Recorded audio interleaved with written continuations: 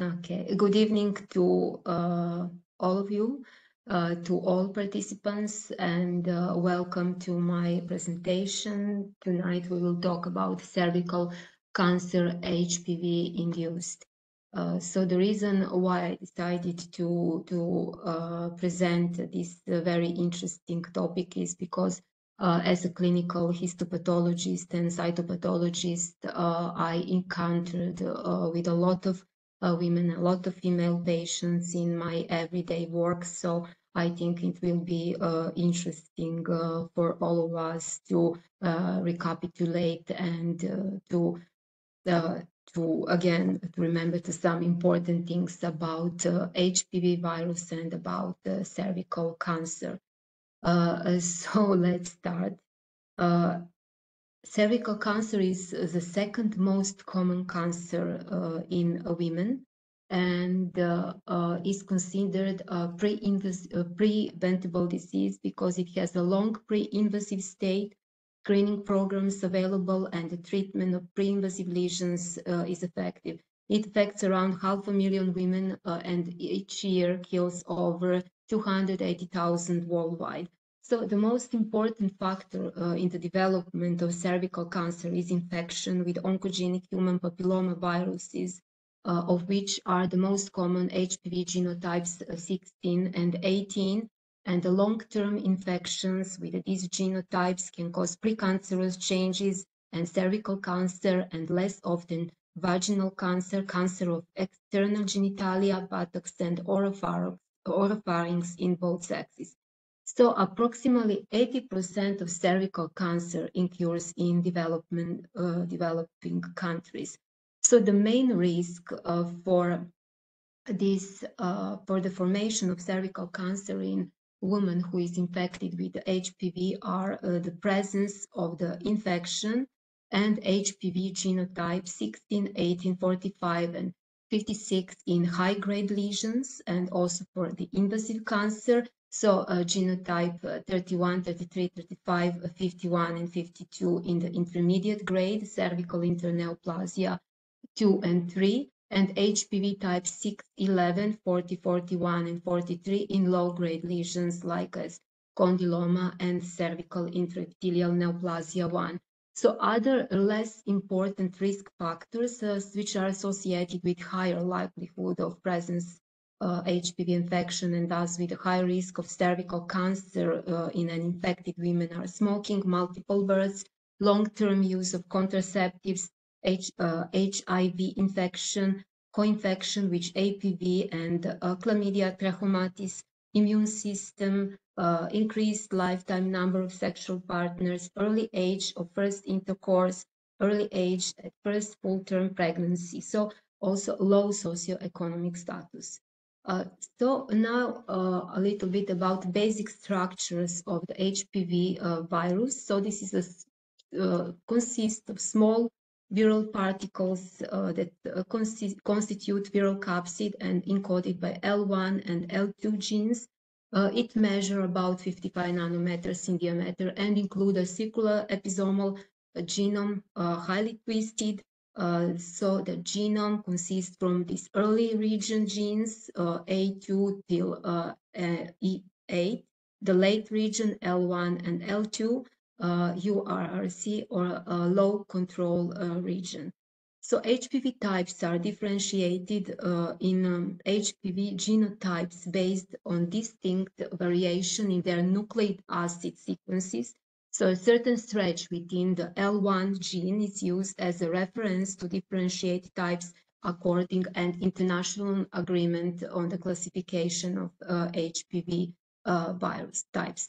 So uh, here is uh, one um, uh, table which shows correlation between a phylogenetic um, sorry, phylogenetic and uh, epidemiological classification of uh, HPV types. And here we can see this high correlation between this phylogenetic and epidemiological classification between high risk and low risk HPV types.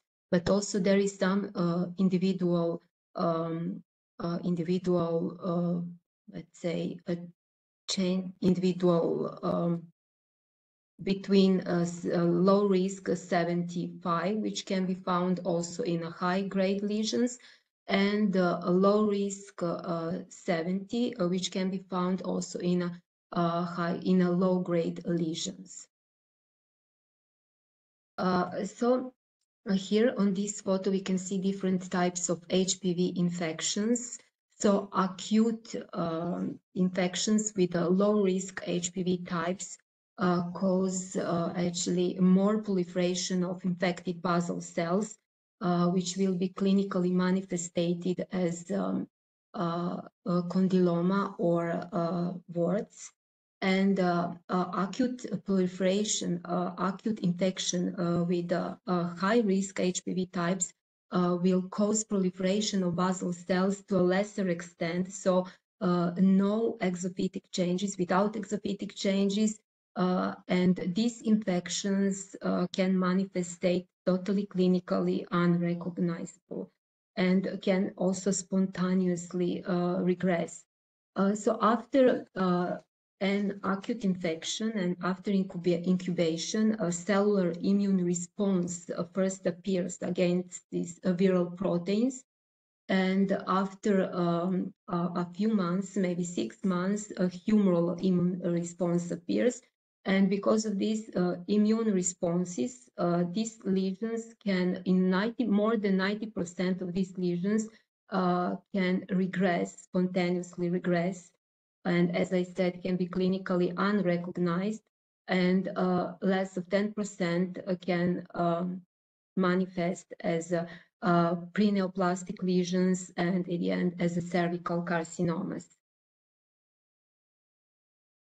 Uh, here we can see these different phases of uh, HPV, of uh, high-risk HPV infection. Uh, so uh, this is um, after, the in, after infection of basal cells of the epithelium, the virus may, may persist in a latent phase. Here we can see in a latent phase. Uh, so upon differentiation and maturation of the cells, the viral genome may be replicated and novel virus particles are produced and released at the surface of the epithelium. And this stage is often characterized by the presence of uh, koilocytes, which are morphological hallmark of productive infection, uh, this replicative and productive infection. So if transcriptional uh, control of the viral genome in the basal and parabasal cells fails, uh, expression of the viral oncogenes uh, in these replicated cells may lead, uh, may induce a chromosomal instability and thus initiate transformation, malignant transformation of the cells. Later in the progression uh, to invasive cancer, uh, the viral genome uh, becomes incorporated in the genome of the host cells and uh, which is actually a sign of increasing chromosomal instability. we can see here. So this is a schematic and molecular, uh, actually, um, molecular interactions between viral proteins E6 and E7, which are crucial uh, for uh, uh for a manifestation of cervical carcinoma and the pre-invasive lesions and uh, cellular inhibitory proteins uh, P53 and PRB. Uh, after infection of the basal cells, the uh, virus uh, HPV genome uh, is in basal cells, is located in the basal cells uh, in a uh, form of extra chromosomal particles. we call that episomes. these cells will, infected cells will follow the cell cycle of the whole cell and after uh, in this stage, uh, in this stage, the early viral gene, genes will express in a low and a highly controlled level. Uh, so when these cells will reach uh, the superficial cells layer, these early genes will shut off and expression of uh, late gene uh, like L1 and L2 will occur which will result with the uh, release viron, vir, virions uh, from the host cells, uh, which we can see. And this is actually uh, happens in a low risk uh, uh, HPV infection and uh, clinically is manifested as genital warts and condylomata. But in case of a persistent infection with a high risk HPV genotypes, these genotypes like HPV 16 and 18, they show tendency to incorporate into the genome of the host cell uh, which we see here, and uh, genome, the viral genome always incorporate um, uh, in E2 region and cause the destruction of the E2 gene, which uh, manifestate with a loss of its regulation and uh, loss of its regulation, which is inhibited inhibition of transcription of the early genes which will manifestate uh, with accumulation of proteins uh, E6 and E7, uh, inactivation of P53 and PRB, and uh, uh, with the proliferation of the epithelial cells, which will lead eventually to the malignant uh, transformation. here we can also see that um, viral proteins E6 is bound actually to a three-part complex with P53 and ubiquitin, which cause proteolysis of uh, P53. Uh, we know that P53 is a cause uh, is known as the guardian of our genome. Uh, so in this case, we have proteolysis of P53, and uh, viral protein E7 will bind to uh, tumor suppressor gene PRB and ubiquitin and will cause proteolysis or PRB, and also will uh, disconnected uh, uh, the complex, disconnected the complex between E to F, which will lead also to loss of its function and to proliferation of the epithelial cells and in the end to um, malignant transformation. Uh, here uh, a little bit about anatomy of uh, genital organs. Here we see uh, genital organs, and here is the cervix, which is the uh, lowest part of the uterus, and is about two to three centimeter long, and uh, it has roughly cylindrical uh, shape. So this portion, which is this lower portion of the cervix, actually which opens in the vagina, is called as a portio vaginalis or as ectocervix. So uh, here in the middle is a very narrow uh, cervical canal. Here we see cervical canal, which is lined, we can see here, which is lined with a single layer of columnar cells. And uh, here is ectocervix cervix or this portio vaginalis, which is lined uh, with a, uh, uh, multi-layered squamous epithelia. so uh, this native squamous cell junction is the meeting actually is meeting point of these two epithelia is called native squamocellular squamocolumnar junction. Um, here we can see on this photo transformation zone. Uh, this is area of endocervical mucosa where metaplastic process occurs and a new squamocellular junction is formed. And why is this junction uh, is transformation zone is important because it is the place uh, in, on the cervix where atypical cells uh, develop most uh, commonly. So uh, here, uh, why this uh, scheme is important because knowledge of uh, and recognition of normal cells in histology and cytology slides is actually essential in the diagnostic process. So here we have some epithelial cells which constitutes squamous epithelia also here is a cytology composition uh, that we are usually usually deal with in our cytological slides. Uh, so uh, here is uh, superficial cells uh, which are um, in histological section showing fully mature squamous epithelium which uh, with surface of superficial cells here and this is cytological slides of superficial cells which are large polygonal cells with eosinophilic or uh, this greenish blue cytoplasm, which are less mature and with a round and pycnotic nuclei. Uh, so here are uh, some photo of intermediate parabasal, intermediate parabasal and uh, cells, and also histological section that showing intermediate cells that are connected with the intercellular bridges and uh, a region of fully mature uh, squamous epithelia with hyperchromatic nuclei. Uh, so here we have also uh, columnar cells uh, of the endocervix and endometrial cells. Here is columnar cells.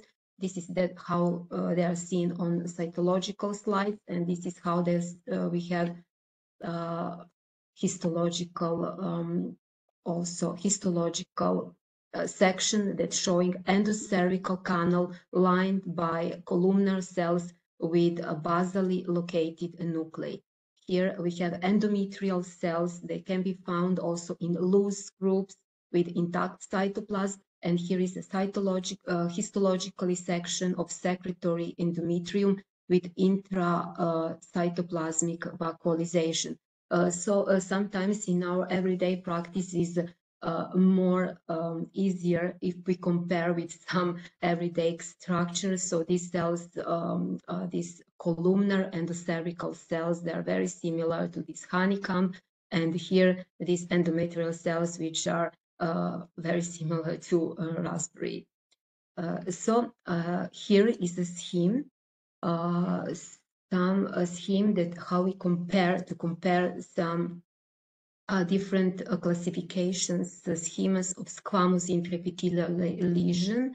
Uh, so we have this uh, double HO classification, uh, Papanicolaou classification, and the Bethesda system classification. Uh, now, it all these classifications they're used in everyday practice worldwide. so um, I was following WHO classification. So here uh, we can see this uh, low uh, squamous intraepithelial lesion, uh, which is uh, histologically demonstrates this mild dysplasia or cervical intraepithelial neoplasia with the koilocytes in the upper third of epithelium. Uh, so here is also cytologically sheets of intermediate cells with anisokaryosis koilocytes.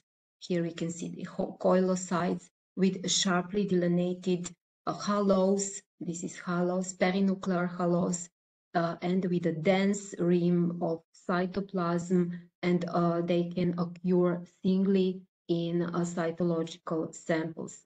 So this is also low SIL uh, in cytological samples, and uh, um, because most common in the low squamous intraepithelial neoplasia, uh, we uh, see a lot of, of these koilocytes uh, in with the show, as I said, this cytoplasmic, distinct cytoplasmic clearing, as we can see here.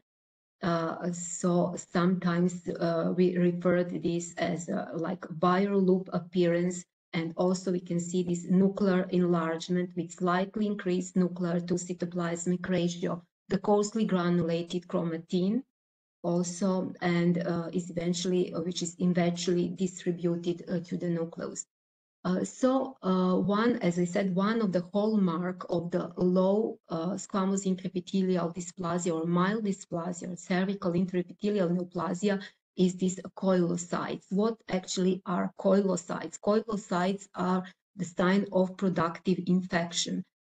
so due to this multiplication of HPV, uh, indefinitely differentiated epithelial cells, this change uh, begin gradually to deteriorate these epithelial cells, and this cytopathic effect characterized of uh, HPV, uh, uh, this characterized as koilocytosis. Uh, as I said, is the sign of productive infection, and these are here the koilocytes. Uh, here we have a moderate dysplasia or a high squamous intraepithelial lesion. So uh, it is characterized in the upper layers of koilocytic atypia in the upper layers and uh, uh, proliferation of atypical uh, cells up to uh, two-thirds of the epithelium. Uh, cytologically, uh, we can we seen the sheets of dysplastic cells also with large nuclei and moderate amount of cytoplasm, and also nuclear to cytoplasmic ratio is higher than uh, cells than in cells observed in a low squamous intraepithelial lesion. Here is also moderate dysplasia in histological section. Uh, you can see here uh, immature appearing cells in the low two-thirds of the epithelium associating with some maturation uh, in the upper one-third of epithelium and also in cytological slides. Uh, this immature cell seen in the atrophic sample demonstrates this nuclear pleomorphism, hyperchromatic nuclei, uh, high uh, nuclear to cytoplasmic ratio, and uh, differential diagnostic in this case is very important because uh, it is atrophy. Always we have to think about the possibility of atrophic sample, uh, but um, uh, it is justifying diagnosis as atypical squamous cell high SIL.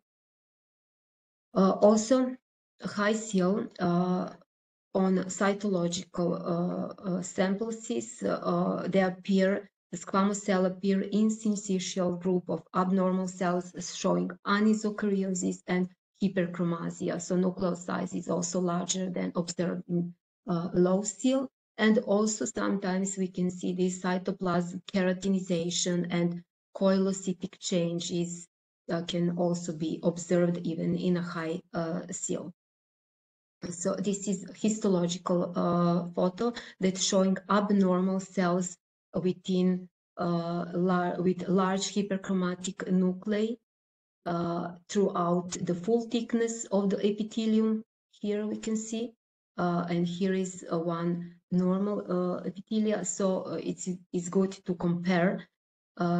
so high-grade squamous epithelial lesion in this, this case shows strong and diffuse nuclear and cytoplasmic P16 staining of the lower uh, two-third of the lower two-third of the epithelium. This is uh, immunohistochemical marker that we are used the most in uh, these preneoplastic lesions. Uh, so also high SIL uh, shows dysplastic, these plastic cells that lacking maturation throughout all layers associated with atypical parakeratosis and prominent, uh, the prominent syncytial growth in basal uh, cells uh, and also brisk mitotic activity, uh, which uh, is here we can see some atypical mitosis. Okay. Uh, so uh, immunohistochemistry is very important uh, for diagnosis and for differentiation uh, low SIL from high SIL, and this is uh, some markers that we are using the most. P16 protein, uh, as I mentioned before, is a surrogate marker for HPV infection uh, and is always overexpressed in cervical cancer and precursor lesions, which are associated with high uh, risk HPV subtypes and typically shows strong uh, and diffuse nuclear and cytoplasmic immunostaining in high SIL involving two-thirds or full thickness uh, of squamous epithelia uh, in the majority of lesions and proliferation marker uh, key uh, 67 or MIB1 immunoreactivity is present in the nuclei uh, of the upper of the upper two-thirds uh, of the epithelium in high SIL. So also here is uh, the difference between normal epithelia and uh, affected epithelium. Uh, so these also markers, Ki67 and P16 have been used, as I said, and these proteins, they are upregulated in these, these plastic cervical epithelial cells uh, through the action uh, of the integration of the viral genes E6 and E7 into the host genome and also P16 improves accuracy of detecting uh, cervical intraepithelial neoplasia to compared with a, a high-risk HPV testing in the triage of women with uh, ASCUS. Uh, so in histology and cytology, P16 and also Ki67 are sensitive markers for dysplastic squamous and atypical glandular cells of the cervix, and the combination of both as a dual stain may be uh, specific. So squamous cell carcinoma is the most common type of carcinoma of the cervix. And although previously accounting more than 90% of all cervical cancer, the overall frequency has decreased due to implementation and success of national cervical smear screening programs. Uh, so this has also resulted in the detection of otherwise asymptomatic small early invasive lesions, which offers the possibility of conservative management due to the negligible but not absent risk of metastasis. Uh, so uh, clinical features of um, some carcinoma, uh, we have superficially invasive squamous cell carcinoma, uh, which the earliest stage of the genesis uh, of an invasive cancer uh, and maximum depth of this carcinoma is 5 milliliter, maximum wide 7 millimeters and invasive squamous cell carcinoma, a lesion of which epithelial formation invades underlying stroma by infiltration or destruction. Uh, so the symptoms uh, of um, this carcinoma, uh, this carcinoma is present most commonly with postcoital or intermenstrual bleeding, uh, with growth to uh, parametria, into parametria, and involving uterus, uh, obstructive uropathy and ren uh, cause also renal failure. Pain is usually indicative of pelvic wall of lumbosacral nerve root invasion and uh, in advanced stages hematuria. Also rectal bleeding or constipation indicates bladder or rectal involvement. Uh, colposcopic features of squamous cell carcinoma are also important. So superficially invasive squamous cell carcinoma may have this colposcopic appearance that is very similar to high squamous in, uh, intraepithelial lesions, these punctations and also mosaicism. So the presence of also atypical vessels is highly suggestive of early invasion uh, so the atypical vessels, they run parallel to the surface and often have irregular shapes such as the spirals and comas. Uh, so a superficially invasive carcinoma of the cervix appears as, appears as a raised a red granular lesion of a colposcopic on colposcopic view. Uh, more advanced tumors tend to be exophytic uh, in the ectocervix, uh, commonly uh, we have this um, exophytic formation, but tumors confined to the endocervical canal, they are more commonly endophytic and result in a barrel-shaped uh, expansion of the cervix. So here we have these colposcopic images that show uh, these uh, um, atypical vessels and also raised granulated red uh, mucosa also here we can see. Uh, so very similar uh, appearance colposcopic appearance in uh, high SIL lesions and in squamous cell uh, carcinoma. The gross findings uh, are in, as I said, in squamous cell carcinoma, in endocervical canal, we have mostly uh, these um, uh, exophytic parietal polypoid uh, tumors, uh, and um, with they can in endocervix they can infiltrate the cervical wall, which result with this barrel-shaped uterus. So um, we can also divide squamous cell carcinoma uh, on some subtypes and variants, and we have a large cell non-keratinizing, which is the most common, uh, carcinoma. And in this carcinoma, we have locks of keratin pearls, but uh, we can have some individually keratinized individual cells. And also keratinizing uh, carcinoma, squamous cell carcinoma, uh, it requires the presence of keratin pearl formation. What are keratin pearl formation? This is uh, pearls that are composed of nest of squamous cells uh, that are that arranged in concentric um, uh, circles and surrounding uh, uh, with surrounding central acellular keratin. So these are some variants of squamous cell carcinoma, which can, which can be basaloid, verrucous, warty, papillary, uh, transitional lymphoepithelioma-like carcinoma. Uh, this is uh, an uh, histological section of an early invasive squamous cell carcinoma uh, what is uh, significant for this carcinoma, at the base of the crypts, we have focal prominent stromal reaction. And in the background, we can see a small, we can see also uh, extensive high SIL uh, that involving these endocervical glands. And also here on this, uh, on the uh, high power, we can see this small irregular malignant epithelial cells and nest that invading stroma. Uh, this is also, uh, as we mentioned, some characteristic of superficially invasive squamous cell carcinoma, which can be uh, seen here. So also one very important and useful diagnostic clue uh, in uh, these carcinomas is the presence of uh, always desmoplastic stroma, edema, and marked chronic inflammation that we can see here. Uh, so this is uh, invasive squamous cell carcinoma uh, in um, either can be non-keratinizing or keratinizing carcinoma. in non-keratinizing, we can see a lot of, of this moderate amount of cells with eosinophilic cytoplasm and uh, lack of keratinization. And in keratinizing, uh, is defined by the presence of keratin pearls.